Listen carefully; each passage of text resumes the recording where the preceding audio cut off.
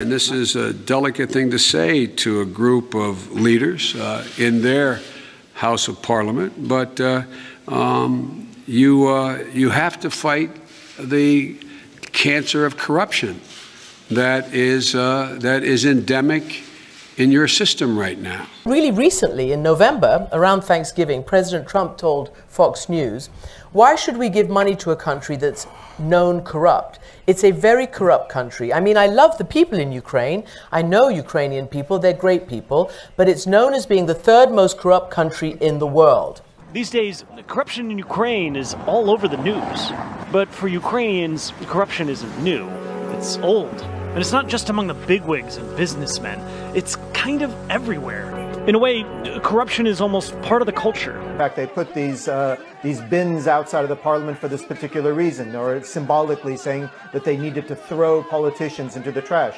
In this case, they actually uh, did that to one, in, one politician in particular. But I think what we need to uh, keep in mind is this really shows the, uh, the emotions surrounding the issue and surrounding, indeed, uh, the entire issue of corruption in, uh, in Ukraine. As recently as 2018, Transparency International ranked Ukraine the 60th most corrupt country in the world.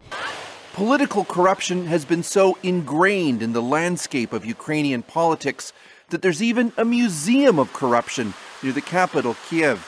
It's a palatial estate built by ex Ukrainian President Viktor Yanukovych from $2 billion stolen from Ukraine's treasury.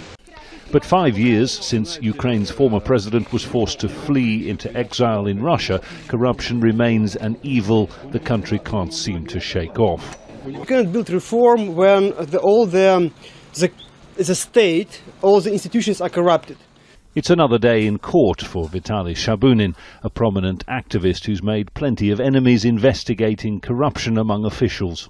A chemical substance thrown at him last year did no lasting damage, but it could have been worse. Another anti-corruption activist, Katerina Handziuk, was the victim of an acid attack that killed her, slowly, after three agonizing months in hospital.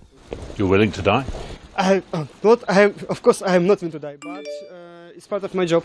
But you accept that that is a risk inherent in what you do? In this country, of course, it's a risk. Alexander Daniluk was Ukraine's finance minister until last summer when he was fired for refusing to be part of a government scheme to buy the votes of MPs in parliament. Combating corruption was one of President Zelensky's most but his connections to one of Ukraine's richest oligarchs and the phone call with President Trump in which he said that the state prosecutor was 100% his person has caused some concerns. The allegation in Moscow is that many of the staff yeah. in your office in Odessa today are being paid for by the U.S. government. Yeah. Is that true? No, but let, let me. Uh, let no, hang on. Is it, is it no, true? it's not true.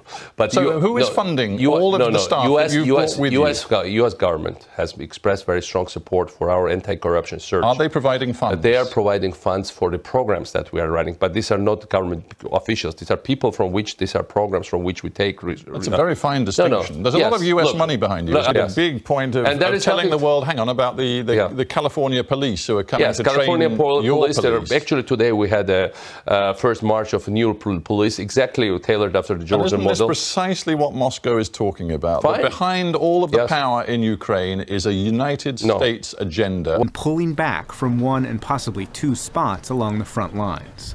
It's an effort by Ukraine's new president, Volodymyr Zelensky, to conclude a war that's challenged the core of his government. And not uh, all the people in Ukraine accept this, but this is like the one reason for the meeting with Ukrainian President Mr. Zelensky, Russian President Vladimir Putin, Angela Merkel, and President of France, Mr. Macron. So President Zelensky is trying to find a peace process a solution for the war. What interesting to me is how they used to speak about Ukraine before Russia's invasion, right? They never said anything good about them. But now we're fighting for a democracy. They are a great government. They are honest. They are truthful. They don't cancel elections. They don't arrest political opponents. Well, that's where Biden learned it from. They don't shut down news networks that criticize Zelensky. Oh, and did I mention they don't cancel elections?